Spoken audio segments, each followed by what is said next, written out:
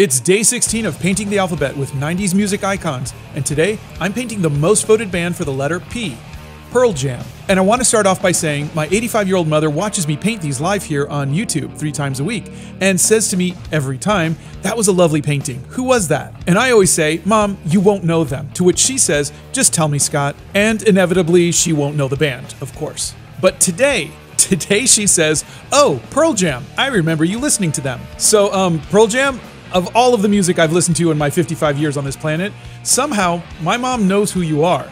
Yeah, I'm as shocked as you are. So it must be no surprise that you won with over 32,000 votes, beating out Phil Collins, the Pixies, and a slew of other amazing 90s bands. So I think I found my groove with gouache paints. Things are clicking and I'm feeling more confident with them.